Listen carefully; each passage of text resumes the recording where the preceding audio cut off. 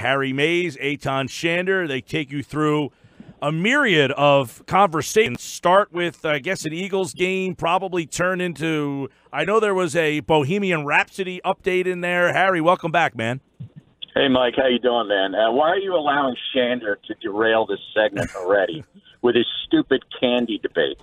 The candy corn debate lives on forever, and each and every year it seems that nobody likes it, yet it's probably pretty profitable. Uh, hey, something Yeah, tells me that you put that. that out. You put Nobody it. likes the peeps. There's Reese's peanut butter cups, and that's it. That's the list.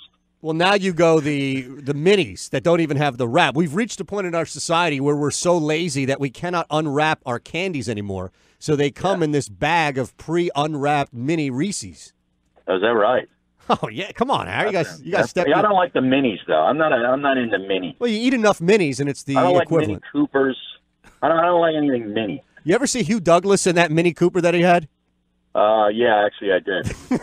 it was like had a gotta- mini it was like a clown That coming had out of a car. It had to have been given like to him. head sticking out the sunroof. Yes, yes, exactly. That's right. got to be tremendous. Uh, to see a, a, I mean, he's like six foot four, like two hundred and seventy pound man coming out of a Mini Right. Cooper. It's pretty. That's Yeah. pretty uh, awesome. Uh, so, so I want to get you're your. derailed. Yeah, Yeah. I, I want Yeah. to. That's I how want easy to, it is. I want to re-rail ourselves here and, and get your thoughts on. I saw that we we did our show six thirty in the morning, and by eight thirty we were done off the air. Got a little hour to get refreshed and then watch the. I love. I'm a big fan of the London game. I saw you you watched the game and then went out. What you play nine? Yeah, I played. Uh, yeah, I played nine holes, and then I got back in to, to see the pathetic end of that awful Redskins Giants game, and the Giants getting a garbage touchdown. And then I watched uh, what was it the uh, the Packers and the Rams in the afternoon. That was a great day of football. I love that morning stuff. I'm all on board. I said I love. Yeah. I will take the 9:30 Sunday game over the third. I'm willing to trade. Give me the 9:30 weekly Sunday over the Thursday nighter. Yeah, and I don't even like the Sunday night game. Like by Sunday seven thirty, I'm gassed. I'm ready. I'm ready to go to bed. No, you, you got to go Sunday night over London. Uh, no, no. Unbelievable. Well, I London, so but e- even if your the day. team's not playing in London, like just the London game in general, you're a bigger fan of than the night game.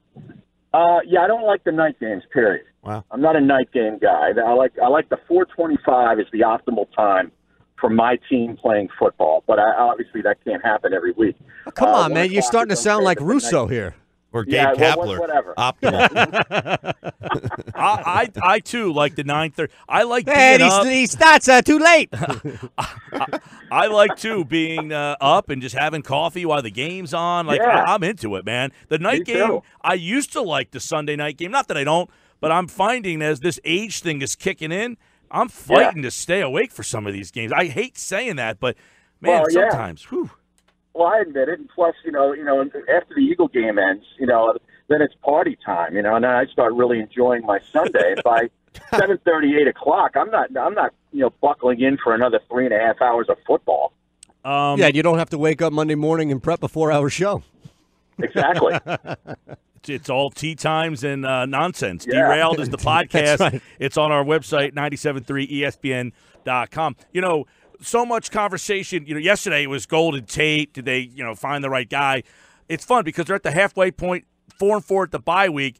I'm wondering how many people are just kind of taking this whole season in where we are halfway through. How, how are you uh, taking this four and four post Super Bowl in, man? Well, you know, I just look at this as it's it's a it's a gravy season in essence because you did you are coming off a Super Bowl. You got your your uh, franchise quarterback back, and he looks like he's he's fully back now, and that's a great thing. The one thing I'm trying to do is to navigate the next eight games of the regular season without him getting hurt behind this makeshift offensive line that they're going to be probably forced to. Uh, to, to, to deal with for the remainder of the season, however long it goes. But the division is not very good. Uh, the Redskins have five wins, and nobody believes that they're any good, even their own fans. So you're looking at this division saying, well, the Giants are already out of it. Uh, Dallas, I don't really know what they are, but they don't really threaten me either. So it's the Eagles' division to win, and therefore you're in the playoffs and you're hosting a playoff game, and just sort of see where it goes from there. I mean, you know, halfway through, there's a lot of football to be played. Everybody's looking at the Rams, and, you know, and rightly so. Maybe New Orleans second in the NFC, and then you know, wondering what happens in the AFC between between Kansas City. Is this is this a 16 game Kansas City Chief team, or is it uh, you know five to eight games like we've seen before with Andy Reid? And you know, uh, is it them or the Patriots? That's pretty much you could pretty much book a Final Four right now, and that would probably be it. New Orleans, uh, Los Angeles, Kansas City, New England. Uh, aside from being an Eagle fan, I'd sign up for that. But I, you know, this is sort of a gravy year. They're going to make the playoffs. They're going to win the division. Hey, curious, and before you get out of here, you're going to have to tell us. I teased it about us taking derailed on the road this Sunday. But Yes. before that, I've Allegedly. uh, well, we've we've got credentials, so we're I through. know, Mike I Gill doesn't I know. realize this, but he credentialed us for this event. My Okay, question. Well, Mike, Mike, Mike might, not, might have to go in my place. Is what I'm saying. Oh, whoa, whoa, whoa! What's go? You, you sent a tweet out already. You're going to have to delete Yeah, that know. tweet. I know, I know. I can go back and delete that. All right, well, well, now forget forget the It's out meaningless. there. Well, It's forget- out there hold, now. Hold on a second. Forget the meaningless question I was going to ask about how you spend the bye week. This is way bigger.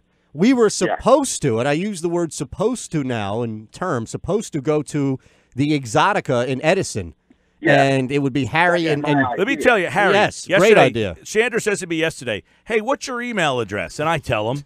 About 20 minutes later, I get, "Hey, I just signed us up to go to the Exxxotica uh, porn convention. convention. No, not Yeah. porn, just Exxxotica convention." I'm like, "Oh, okay, yeah." He's like, "Yeah, Harry really wants it," so he threw you right under the bus.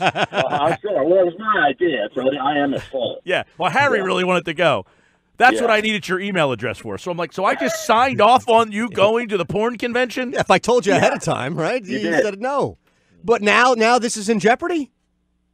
Well, I, I might have overbooked. Is what I'm saying. Ah, jeez. You know, I know. Is there another big day that we're, we're credentialed Was Friday, that Saturday, be and episode Sunday? three or four? Well, episode three Uh, is going to come out a bye week edition. This would be episode Right. four, and maybe we'd sprinkle some stuff in as like a teaser to to get to that. I, I saw like I heard little snippets of it, but I heard like a Bohemian Rhapsody. Was there like a full? uh It was really good. The review I would Review say. of this? Yeah, Harry Harry Yeah, I knocked it went to see that on, on a screening a couple of days ago before it came out, and uh, gave a little screening of that. And uh, we just kind of meandered from Eagles football in London to Wembley Stadium to Live Aid to Queen. It was just sort of the stream of consciousness uh, route that we took. All right, that's tonight, seven Yeah. to eight. You can hear it on our website, 973ESPN.com. At Harry Mayes TU is the Twitter account, correct? Correct. All right, man. Well, All right, we look forward Let's figure to that. this thing out this weekend. Let all right. me know. How, yeah, I want to know how this is. I want to know how this whole convention goes. You're gonna have to figure this if out. If we could even go now. You just, you know, this was the biggest thing I was looking forward to the next three months. Well, that's your problem. By the way, Harry, December 15th at the Boardwalk Hall, I, we got a Temple game down here. You're going to have to come down. Oh, the basketball game, right? Yeah, they're playing. I think uh, Princeton's down there, Temple, somebody. There's, there's four games. There's four. So some of the games are actually pretty good. Is it Davidson? Is that one of the teams? I uh, there, I I forget, but I Right. know there's there's four games that day. It's and Temple's one of them. So Yeah, I'll come down for it's, that. a, it's a Saturday. So Yeah. we'll have a couple uh, libations. Yeah, until he overbooks. Doubt. What's his? Uh, what what do you have today in that podcast? A, a, an old granddad or something? What? What were you drinking on that podcast? Drinking a beer. I was drinking a beer. Oh, I thought you said he Yeah, was having Shannon like an old. Fa- I thought you Belvedere. said he was drinking an old fashioned. No, no. Harry's a beer No. guy. Okay, me Vodka too. and beer. All right, all right, Harry. Well, listen tonight, pal. Thanks. All right, guys. Thanks. Uh, Harry Mayes on the Boardwalk Honda Hotline. His uh, podcast with Shander. It's called Derailed.